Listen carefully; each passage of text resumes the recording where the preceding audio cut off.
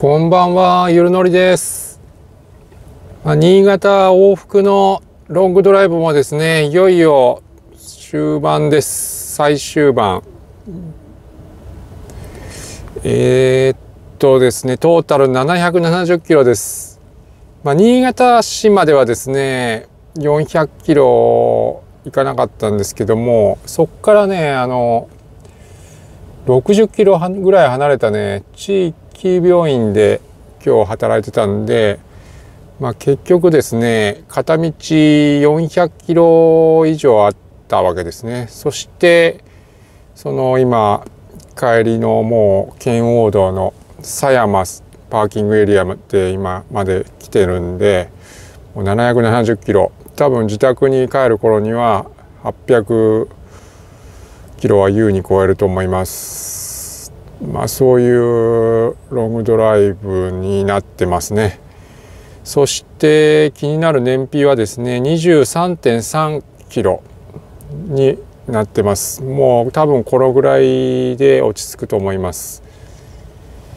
まあ僕はそんなにねあの法定速度80キロから90キロぐらいで ACC をセットしているのでこれぐらいの燃費が出てますね。ちょっとまた走りながら話していきます。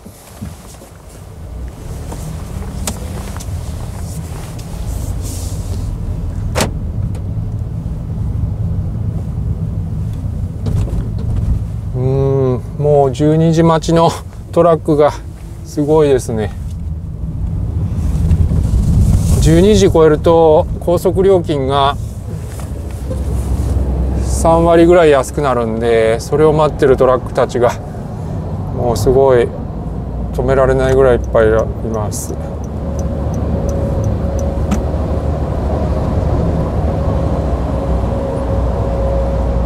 え、っとまああの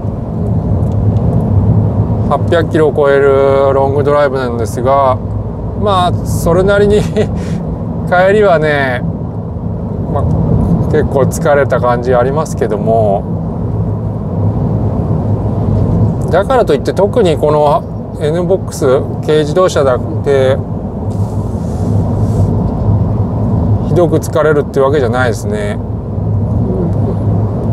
ハリアなんかでもこのロングドライブを時々こなしてたわけですけどもハリアだってやっぱりそれこそこ疲れますから。特に N ボックスだからといって非常に辛いかというとそうでもないです。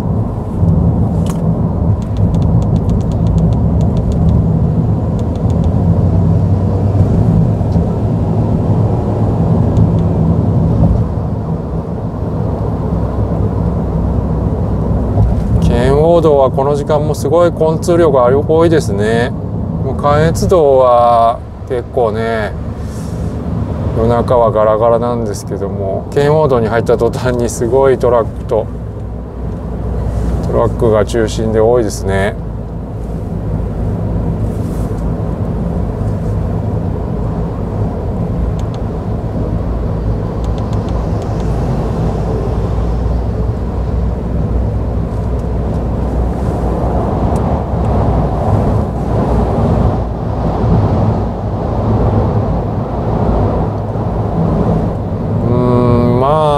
そうですね。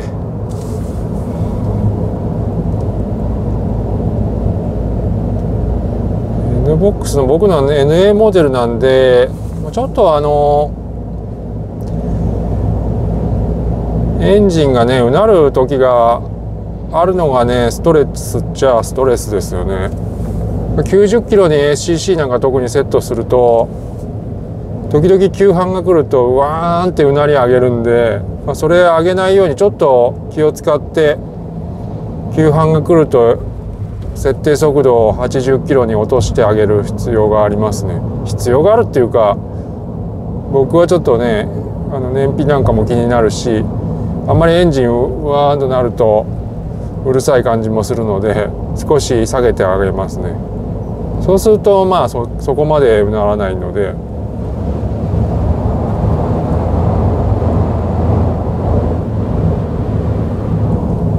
まあ、ターボモデルだとだいぶねそれがないですよね前もターボモデル2回ぐらい借りたことありますけどもターボモデルだと高速道路でうなりを上げるなんてことはほとんどないんですよね。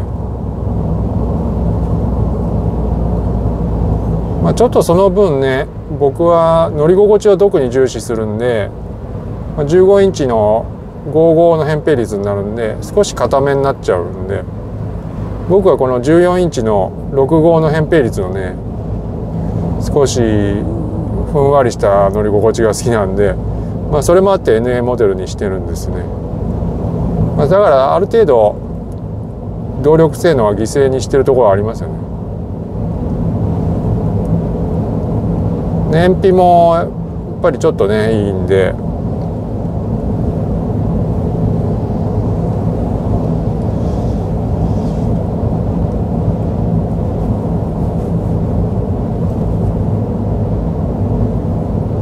片道400キロオーバーのねロングドライブだったからまああのスタート時に満タンにして途中で給油する必要があるかなと思ったんですけどなんとかねあのまあそこそこ余裕持って向こうの現地に着きまして高速道路内ではねあの給油する必要がなかったですね。高速道路で給油するとちょっとねリッターあたりの料金が高いんでちょっと損した気分になるからなるべく高速道路内で給油したくないなと思ってたけどなんとか持ちました。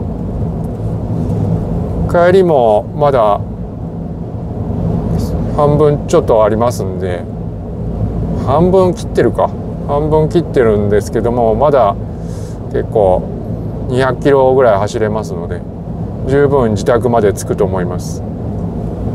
この NBOX のあのガソリンメーターは12個のブロックが連なってねそれが減っていく形でガソリン量を表示するんですけども今あの12個中5個ついてますんで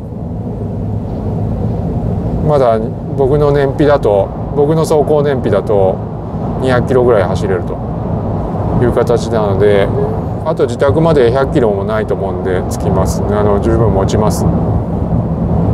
行きも12個中3個残って着いたんでまあ向こうの高速降りてから職場のそばのねガソリンスタンドで給油してまた袋に入ったわけですけどもまあこの NBOX のねやっぱり弱点っていうか皆さんよく挙げるマイナスポイントの一つにその給油あのガソリンタンク、ね、容量のね小ささを上げてる方多いですよね。27リットルなんですよね。ちょっと少なくなっちゃったみたいなんですよ。先代から見ると。先代が32 35リットルぐらい入ったのかな。32リットルかな。32リットルか。だから5リットルぐらい減っちゃったんですよね。結構5リットル違いますよね。27リットルと32リットルじゃとか35リットルじゃ結構違う感じしますよ。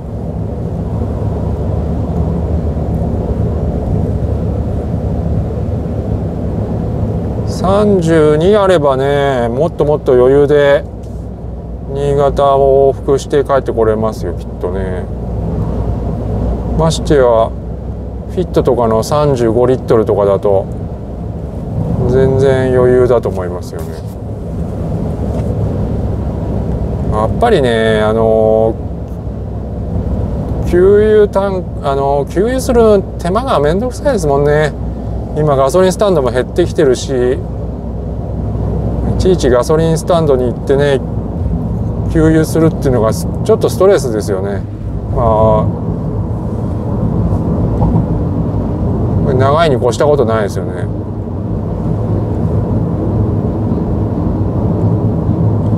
だから次の NBOX はどういう風になるか分かんないけど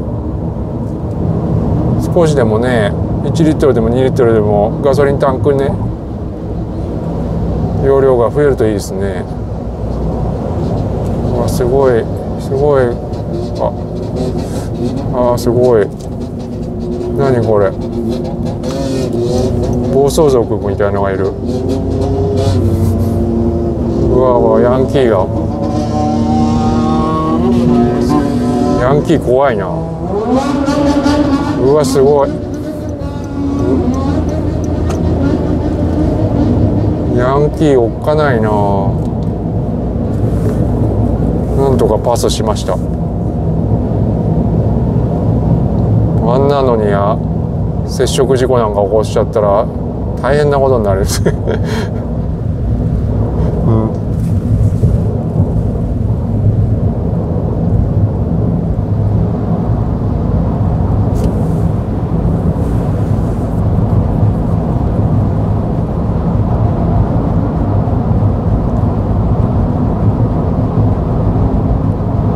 まあ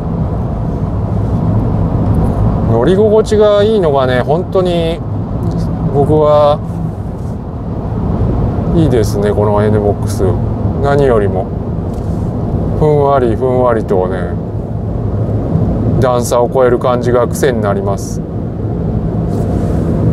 それがあってこの NA モデル選んだっていうのもあるし NBOX 全体に言えることですよね。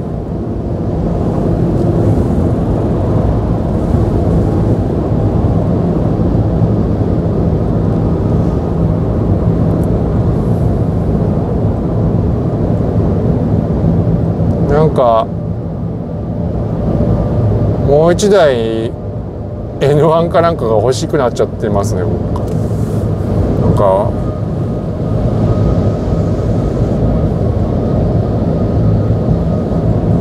このままでいくとなんかハリアー最近全然乗ってないから NBOX の走行距離が大変なことになりそう。だってまだ3週間も経ってないのに今日で納車して18日目かな。3週間経ってないのに。3週間も経ってないのにこれでもう2000キロ近く走っちゃう。今1886キロ。家に着く頃には1900キロ超えちゃうから。こんなに走る人ってそんなにいないんじゃないかな。1ヶ月点検の時にはもうなんか3000キロ近く走っちゃったりしてホンダのディーラーさんにびっくりされるかもしれない。2週間後にはまたもう一回 NBOX で新潟の病院行こうかなと思ってるん。でそこでまた900キロとかあ800キロ以上追加されるから3000キロ近く行くな。こんなに走る人何やってんだと思っちゃうかもしれない。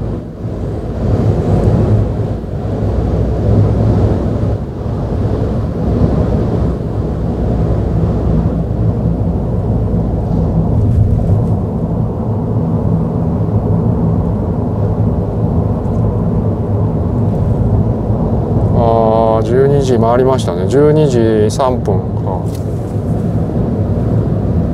もう高速料金がね3割安くなりますよ。これ出口で降りると。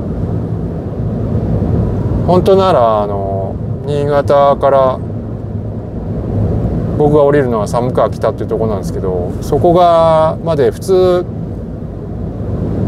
昼間だと軽自動車で6200円かな。だけど3割安くなるから4900円とかになるかな。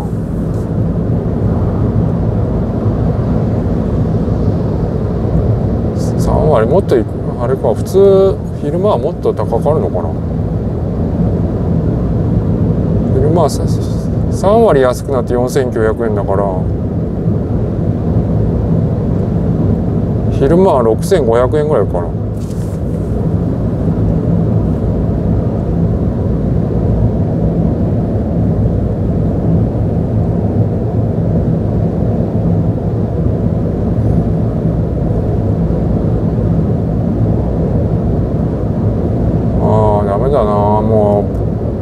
さすがに頭が回らない。あんまりポッパッパッパッパッパと喋れないです。も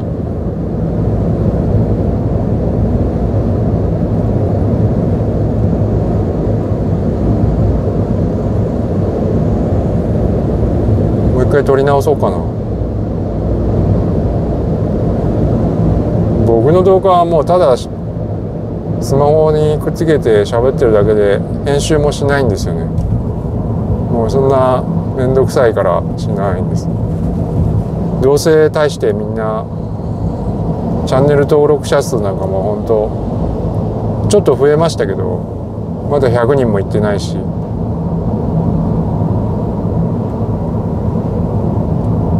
こんなのでお金を もらえるまで行くわけないなと思ってるし。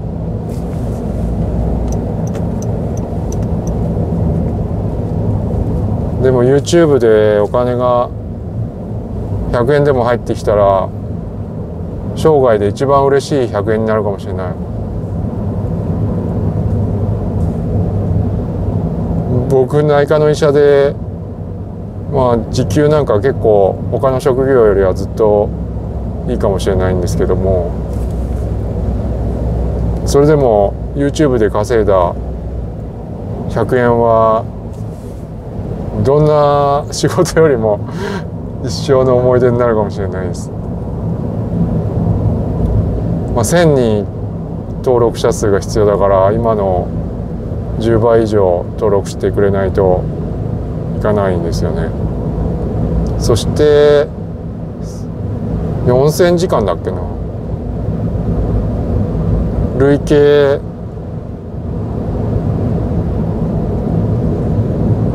累計。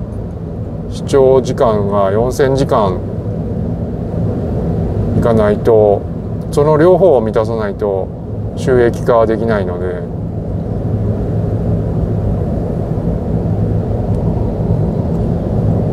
もうとてつもないまだまだっていう感じ。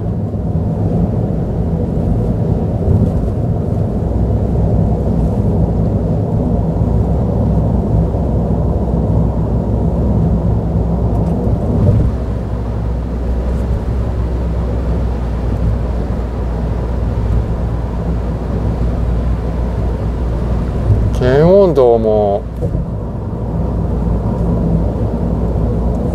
鶴ヶ島ジャンクションから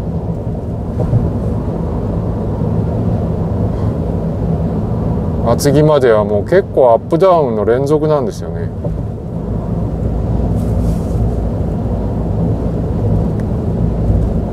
か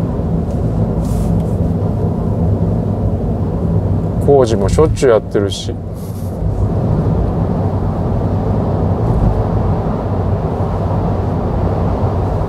何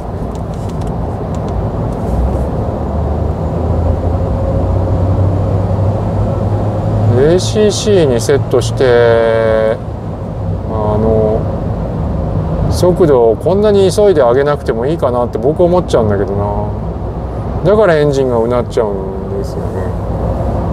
僕みたいなそんな急がない人は もっとゆっくり速度を上げてくれてもいいなと思うんですけどそこの設定とか変えられるのかな。そうすればもっとこんなうならないと思うんですけど。もうとにかく急いで設定速度まで回復させようとするからこんだけうなるんですよね。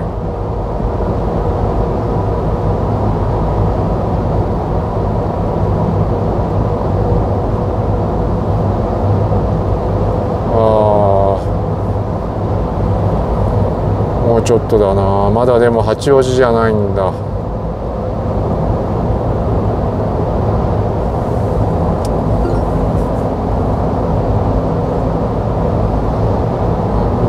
分超えたしもうこれで終わりにしましょう。こんなの聞いてくれてる人いんのかな？まあいいや。でもなんか1,000回とか回るんですよね。なんかこれに需要があるのかと思って驚いちゃうんですけど